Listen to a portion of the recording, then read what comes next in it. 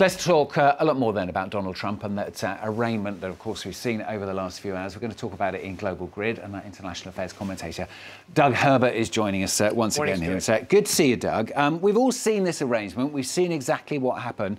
There was another narrative as well, though, going on, wasn't there, over the last 12 hours? Yeah, you say another narrative. I'll use a different term alternate reality, because that's essentially what it was. Donald Trump, in a familiar sort of pattern, has always sought to turn the tables. He has cast himself as the victim, a uniquely persecuted individual uh, at the hands of an elitist, left wing, Marxist, communist establishment out to get him. Just want to quickly show you sort of the narrative as framed in Trump land perfectly um, sort of reflected on Fox News Network. I put news in quotes when I say Fox, but this was the, I just want you to see the caption that they ran uh, during a split screen showing Trump's remarks last night and Joe Biden, who was also giving a speech at the White House at the same time. Fox News did a split screen, and it said in the in the caption, if you can't read it, "Wannabe dictator speaks at the White House after having his political rival arrested."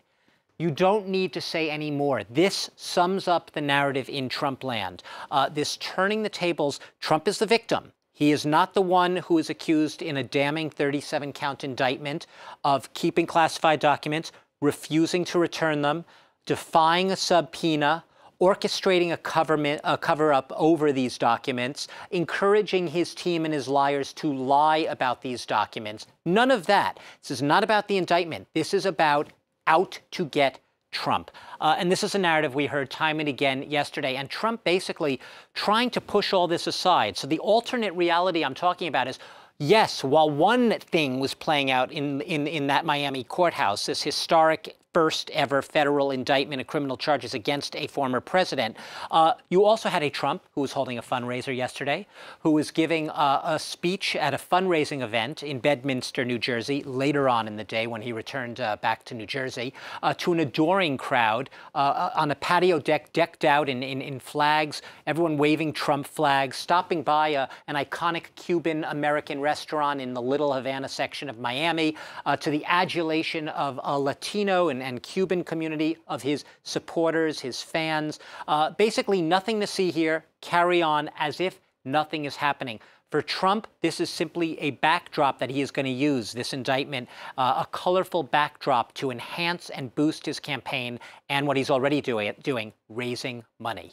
Doug, um, what about Republicans, this alternate reality you talk about? I mean, are they falling for it or are there cracks starting to appear? There are some cracks, uh, Stuart. You're absolutely right to point that out. But right now, the narrative is still a monolithic defense. Most, the vast majority of the Republican heavyweights are still defending Donald Trump, whether we're talking about his, the man seen as his primary challenger for the Republican nomination, Ron DeSantis, talking about the weaponization of, of, of the, uh, of the Justice Department. A lot of Republicans talking about what a sad day it is for America that Donald Trump is being subjected to this.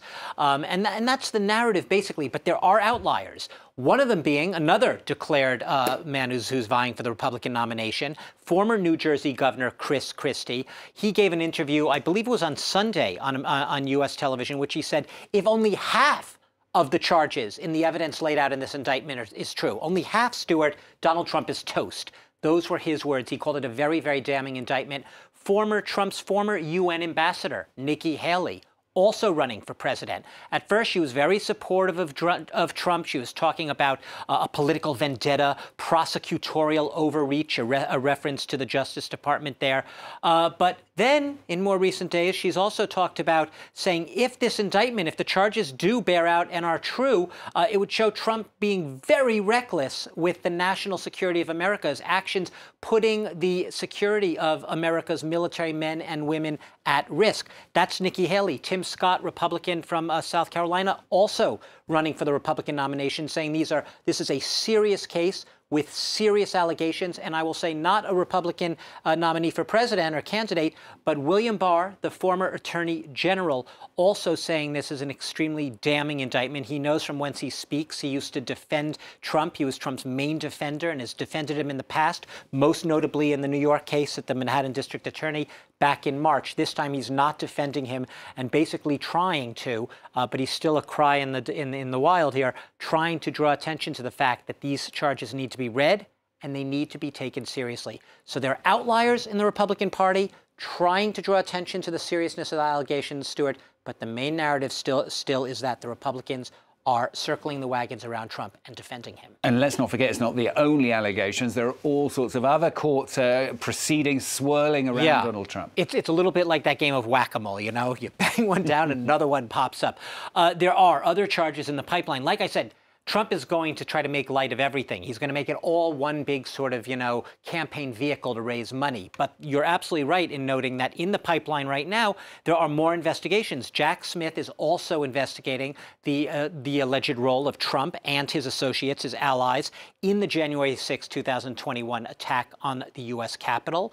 Uh, the Georgia, uh, in, in the state of Georgia, there's an investigation underway into Donald Trump's alleged attempts to overturn the results of that election uh, in that swing state. Uh, there's obviously, we recently had the rape trial, uh, the, the, the, the, the, civil lawsuit in a rape trial where Trump was uh, uh, accused of sexual uh, abuse, not of rape.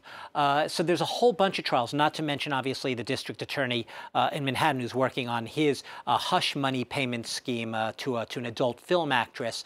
and there's another one in New York State as well to try to ban the Trump organization and his family from ever being able to do business again in that state. So it's it's legal peril and legal jeopardy really wherever you look. But like I said, I come back to what I, I started saying. In Trump land, this is all afterthought. Trump is making light of it. He's trying to hold up another shiny object and make sure everyone is focusing on everything but his legal jeopardy. Doug, thanks very much. Doug Herbert with today's uh, Global Grid, our international affairs commentator. Thanks.